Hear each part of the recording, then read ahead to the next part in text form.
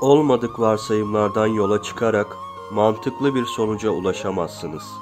Doğru saptamalarda bulunabilmek için öncelikle gerçek verilere muhtaçsınız.